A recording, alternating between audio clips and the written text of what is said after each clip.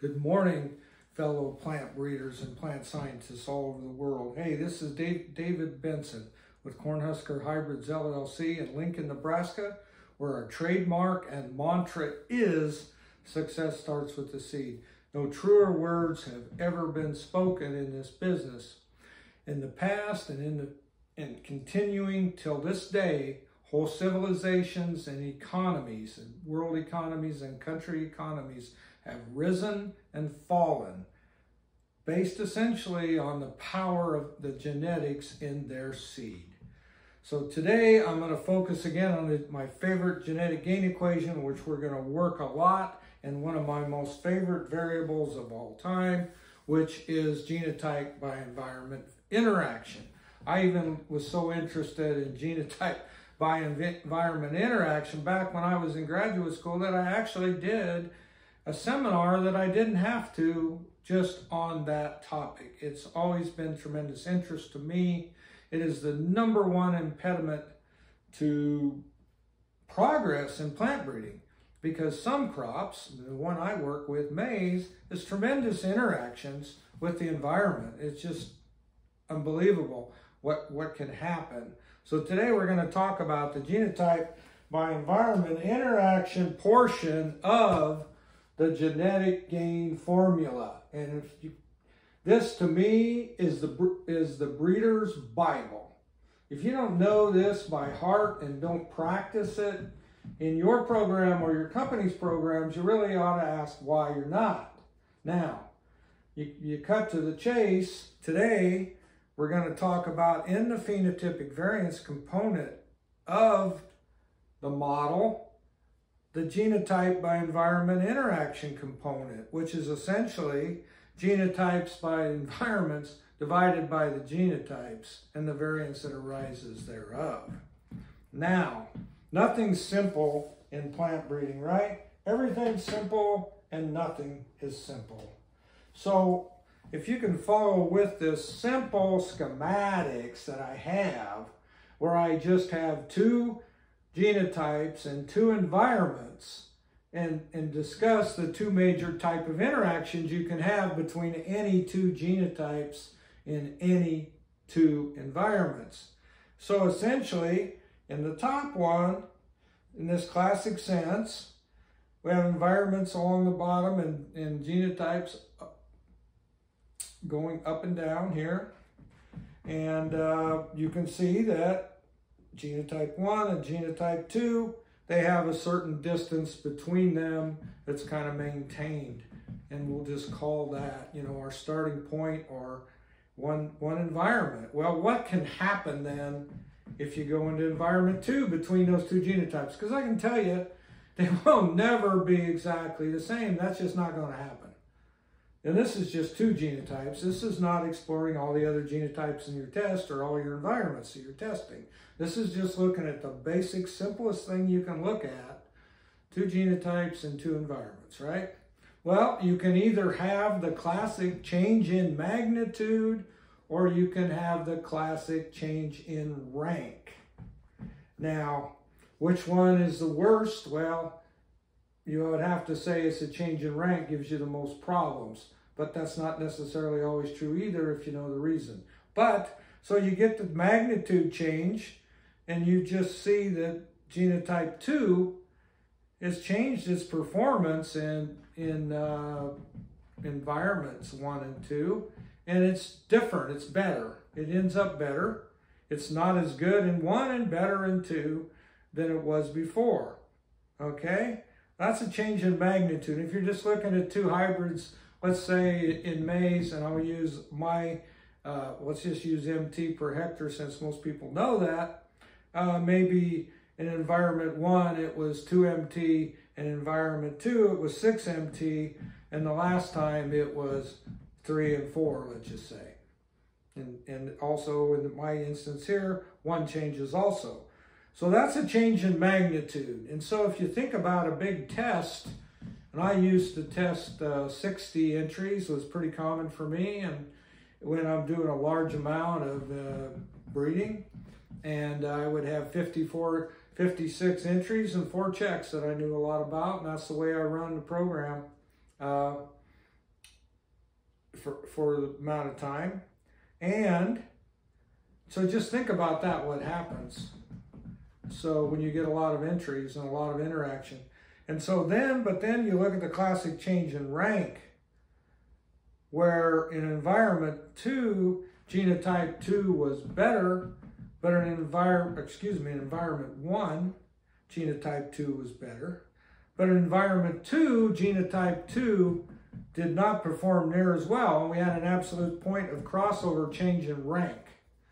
Now this, you just cannot have in your best cultivars. They just cannot be that way. You have to weed those out. And early on, there may be a lot of that, even when you have a limited number of, of locations. So if you think about this in the most simplistic uh, way in your own experiments, you have literally, so if you just had 30 entries and four environments, you have 120 data points. And so you have all of those possible interac interactions between those genotypes uh, within that data set. And of course, you can plot them all out and regress every one of them and put a slope on them and all that. But normally, what we do, especially early on, is we eliminate the ones at the bottom. But you want to look for your most stable entries. And I think that's something that people don't do enough of. I mean, I still and was very big on, I would test, I would always test my environments the same ratio. We had the possibility to do to do managed stress environments where we could irrigate to high potential and withhold water. And I had that at a number of locations, so I worked that at every location. So we were promoting genotype by environment interaction and trying to see which genotypes were the most stable, dependent based on the water variable, as long as the environment would work with us. And so um, what happens is you can, I used to take in, in, in my, uh, we get a GCA report or however you want to express your data and see how these, all these variables, how these hybrids did, not just in across the test, but I also wanted to know what their mean was across the high in our managed stress environments, the high stress location, part of the test, and the more we provide all the water, we make it a lucrative uh, growing environment, uh, excellent for the plants. And the other part, where we're really stressing them. And we could do that actually if we don't get water in Nebraska. It's not that hard, and you can run pretty good tests that way most years. But so what happens is you look at those all and you divide those up that way, and then you look at however you want to look at them how they rank, but how stable they are. And so back in the day when we were, I was using GCA reports, I can tell you that the best genotypes would be about 108% of the mean in the high yield part of the managed stress environment. And they would need to be at least 102 or 103% of the mean in the tougher end of the environment, the rain, the dry land portion of the test, the withholding of water. And if anything, anywhere was less than 100% of the mean in either regime or overall, it never got advanced. Let me say that never got advanced. And they had to be over the mean in both, normally by two or three percent for me to advance them. And so when you started doing that, you had a short list of advancers. And you also had a tremendous amount of interaction in your uh, mean squares. So today, I just want to leave it with you to think about genetic gain and think about genotype by environment. It's huge in the crop I work with. I mean, it's the biggest Next to the year effect, it's absolutely the biggest impediment to genetic progress because it yanks you all over the place. And we'll talk about some of those uh, personal uh, issues with genotype by environment interaction, you want to call, that I've had to overcome or had to really, that's really thrown wrenches in my plan.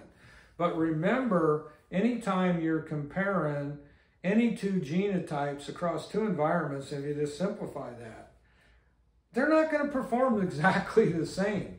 So at the very least, there's going to be some change in uh, change of magnitude. And if you're getting a change in rank, then you really need to look at your locations or see what happened, uh, why that is. Uh, a lot of times it can just be lousy genetics, throw away, discard it. But so I want you to think about that. But I also want you to think about improving the rate of genetic gain as your number one priority in your breeding program. And that, that, that genetic gain equation becomes your Bible to how you're going to develop products and also how you're going to determine if you're making genetic gain. So when I say that the world's population has increased from two and a half billion to seven and a half billion from 1950 to 2020, that is a 300% increase in 70 years, about 4.3% a year if you look at it that way. Now, somehow, some way, we're not really keeping up with it, but it hasn't buried the plant breeders yet. The world population hasn't. But 2050, they're predicting 9 billion, 9 billion plus, which is a really big number. And that's about a 360% increase from 1950 in 100 years. Think of that. So we've got to get on the genetic gain. We've got to develop products that do the things that we need them to do, which is produce more food and fiber or grain yield in my case. And if we can do it by protecting the soil and conserving water and do this all more efficiently, that makes the whole thing work better. So in order to feed these people and nourish them adequately, we got to get off our hands and get off our butts and get to work and there's a lot of work to do. So I encourage you all to make improving the rate of genetic gain the number one goal in your business life. It is in mine, and I work diligently in different places in the world to try to help with that. So again, this is David Benson with Cornhusker Hybrids LLC in Lincoln, Nebraska, where our mantra and motto, motto is success starts with a seed. Go out, have fun harvesting or planting, depending on where in the world you are. Enjoy your job, and let's let's increase the rate of genetic gain and let's make it a priority. We'll talk to you next week.